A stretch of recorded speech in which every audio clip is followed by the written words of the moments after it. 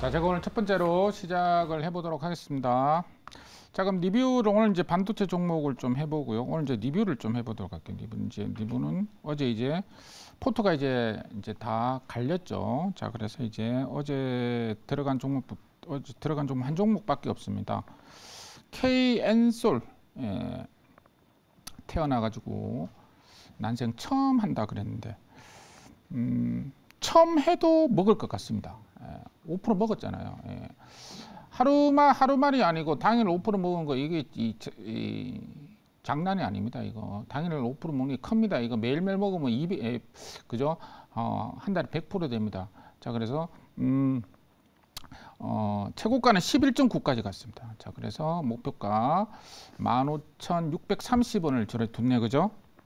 어, 요게 이제 지금 이제 차트 한번 볼게요. KN솔은 어제 급등이 이제 나왔다가 오늘 지금 이제 하는 짓이 그죠? 이거는 이제 이거는 뭐냐면 아름답다 그래야 됩니다. 이거는 예. 이 장대 양봉보다 더 아름다운 거예요. 뭐냐면 장대 양봉 옆에 딱 달라붙어 가지고 그래도 없이 가만히 있는 거죠. 그러니까 이제 어제 들어왔던 예, 누군지는 모르겠지만 어제 들어왔던 이제 세력들이 어제 딱 베팅한 다음에 오늘 매수를 안 하고 있고 그리고 어제 들어왔던 그 물량을 매도도 안 하고 있고 그죠? 그러고 앉아 있는 게 바로 여기 이제 껌딱지라 그러면 돼요. 껌딱지 장대양봉 옆에 매미처럼 딱 달라붙어 가지고 단봉 단봉 단봉이면 이게 양봉도 괜찮고 음봉도 괜찮아요. 요래 있다가 갑자기 막 쉘이 막 튕겨버리는 거죠. 그러니까 이런 거잘 어, 지켜보자 이렇게 이야기 드리겠고 길게 차트를 한번 이렇게 잠깐 보면 자 길게 차트는 이제 이렇게 보면 어 그죠? 자 계속적으로 지금 이제 요 박스권을 돌파하는 요 구간이 요 구간입니다. 요 구간. 자, 요 네모친 구간이죠. 그죠? 예, 어떻게 보면 짧게 보면은 예, 2월 2월부터 6월까지 4개월 박스권이거든요. 그죠? 4개월 박, 4개월 박스권을 돌파를 하고 이제 이게 이제 빼고 갈 건지 바로 올려 칠 건지는 이제 세력들 마음에 달렸는데 어, 바로 올려 치면은 예, 좋은 거고 만약에 빼면은 그죠? 예, 추가 매수 이런 관점으로 하자 이렇게 말씀드리겠고 그리고 뭐 아까 또 이제 이야기하셨는데 이게 이제 목표가 변경 찬스가 매일 예, 하루에 한 번씩 있습니다. 그래서 하루에 한 번씩 있기 때문에 어, 이때까지는 이제 한 달에 두 번밖에 없었잖아요. 그래서 어, 실전에서 적용하기가 이제 어려 어려웠거든요. 그죠? 그러니까 오늘 이제 기념으로 목표가 변경을 한번 해보도록 할게요. 여기 이제 2차가 아까 어, 만, 오, 만 그죠? 5,630원 이었으니까 16,630원으로 한번 변경을 해보도록 할게요. 딱 한 번 변경할 수가 있어요. 이렇게. 그러니까 제가 예를 한번 보여드렸습니다. 그래서 변경을 했습니다. 예, 이렇게. 그런데 이제 딱 한 번 할 수 있습니다. 그 다섯 개 중에서. 자, 그래서 하루에 한 번씩 할 수 있으니까 그 점을 참조를 해 주시고요. 자, 그럼 오늘 이제 신규 종목을 어, 매수를 해보도록 할게요.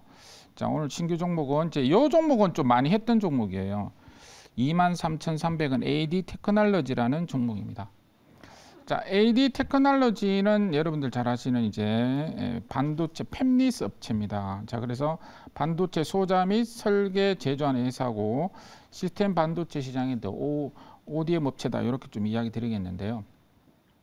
어, 지금 반도체 종목 이 팹립스 업체 중에서 에, 자 넘긴 게 있고 안 넘긴 게 있는데 자 먼저 한번 음, 넥스트 칩 예. 자 넥스트 칩은 사실은 이제 어떻게 보면은 요 박스권을 지금 넘겼죠 그죠 여기서 이제 넘겼어요 자 그 다음에 이제 가온 칩스 예.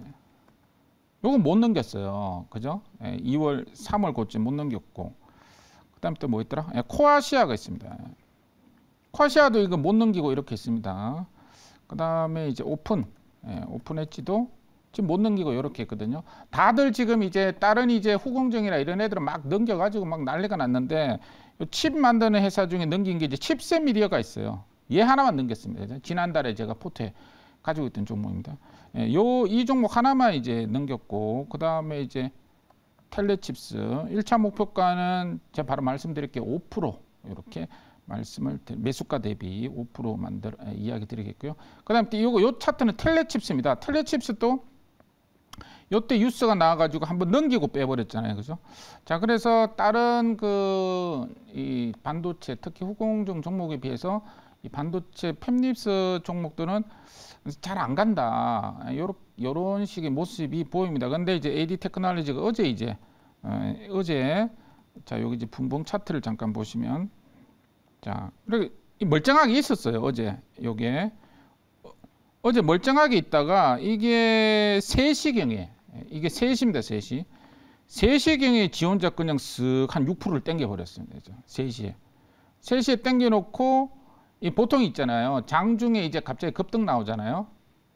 장중에 이렇게 급등 나오면 딱 두 가지 케이스가 있습니다. 어, 바로 막 급등이 이 계속 가는 경우가 있고 어, 장중에 약간 10, 11시부터 1시 사이에 이제 급등 나오는 거. 그것들은 전부 다 두드려 맞아요. 두드려 맞고 급등 나오는 그 시가까지 내려왔다가 그냥 흐지부지 됐다가 장이 마감되는 경우가 많거든요. 근데 AD 테크놀로지도 한 3시쯤에 약간 붙여놓고 어, 오늘 에, 어제 한 3시 20분까지 떨어졌다 그죠? 떨어졌는데 시가까지 안 빼고 버티고 앉아 있더라고요. 버티고 앉아 있는데 오늘 이제 9시부터 어, 12시까지 예, 어마어마하게 잘 버티고 있습니다. 웬일, 웬일입니까? 그죠? 예, 어, 잘 버티고 있기 때문에 이거는 어제 들어온 애들이 아직까지 또 물량을 가지고 있고 한번 쏘기를 준비를 하고 있다. 이렇게 예상을 할 수가 있습니다. 그래서 차트를 잠깐 보시면 이렇게 이제 선을 딱 한번 꺼면 여기 여기가 앞전 고점 아닙니까? 25,000원. 자, 여기가 이제 18,000원입니다. 자, 여기서 이렇게 갔다가 이제 급등이 나왔어요. 그죠? 한번 이제 1차 거하게 1차 상승이 나왔다가 다시 또 거하게 한번 이 두드려 맞고 다시 또 V자를 한번 당겨 놓고 그죠? 자, 여기서 이제 예, 그죠? 자, 여기서 다시 뺐다가 이 전저점 요 전저점 여기서 이제 예, 네모친 거 여기서 지지를 받고 이제 그죠? 이 앞전고점, 이 네모친 앞전고점을 지금 돌파하고 그죠? 이 그다음에 저 위 앞전고점을 돌파시키려고 지금 일단은 폼을 잡았다.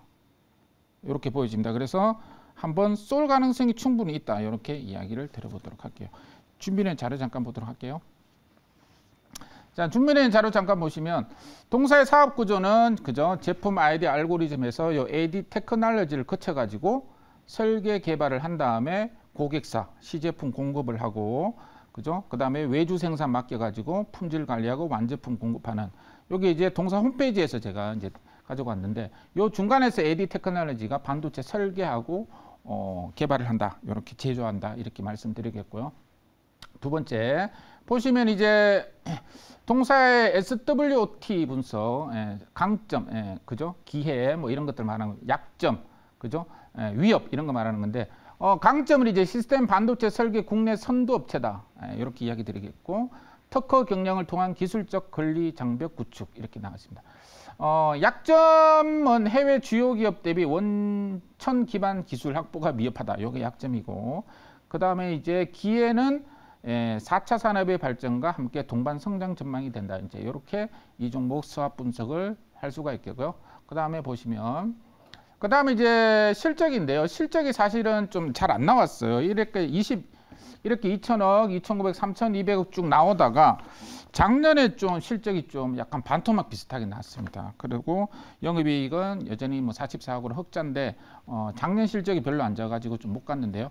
이번에 이제 팹립스 종목들 반도체 종목 중에서 어, 돌파하는 종목이 한 몇 개 있는데 이 칩셋 미디어가 그 엔비디아 그 그 어, 카드하고 비교해서 엄청난 그 효율을 가진 카드를 개발했다.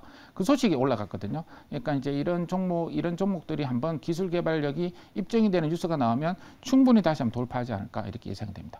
질문 받아보도록 할게요. 네, 제가 한번 질문해 보도록 하겠습니다. 사실 뭐 AD 테크놀로지뿐만 아니라 지금 제- 저도 디자인 하우스 기업들을 굉장히 좀 좋게 보고 있고 국내 상장된 기업이 이제 세 개밖에 안 되잖아요. AD 테크놀로지 또 그리고 코아시아, 가온칩스가 되고 있는데 특히 이제 AD 테크놀로지가 같은 경우는 이제 2019년도에 TSMC와 삼성전자의 경쟁사인 TSMC와 계약을 체결했다가 2019년 후반부터 삼성전자와 이제 파운드리 관련해서 이제 어, 계약을 체결했는데 사실 이제 그 대표적인 기업이 아까 말씀드린 대로 코아시아, 가온칩스, AD 테크놀로지인데 같은 세 기업 다다 어, 이제 디자인 하우스 기업들, DSP 기업들이고요. 그래서 이 두 기업 대비해서 AD 테크놀로지를 가져온 이유가 또 그리고 또, 또 강점이 뭔지 좀 그 점이 궁금합니다.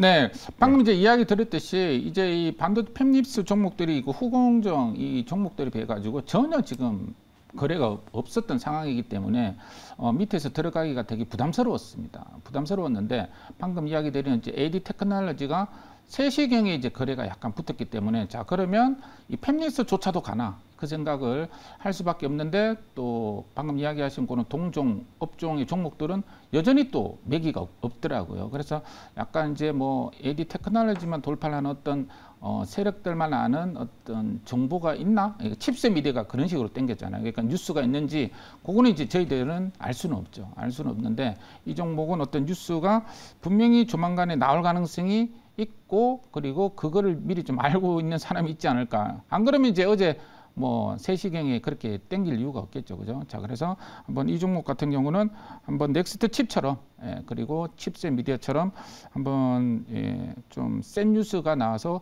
돌파를 시킬 가능성이 있지 않나 이렇게 보여지고요. 어, 특별히 이제 나올 만한 뉴스는 사실은 특별한 거는 지금은 아직까지 안 나오고 있는데 지금 물밑 작업을 하고 있다. 이렇게만 좀 이야기를 좀 드려보도록 할게요. 자, 가격들과 이야기 드려보도록 할게요. 아까 1차는 이야기 드렸고 2차는 3만 1,000원을 드리도록 하고요. 손절은 2만 1,600원을 2만 1,600원 아, 19,850원을 드리도록 할게요.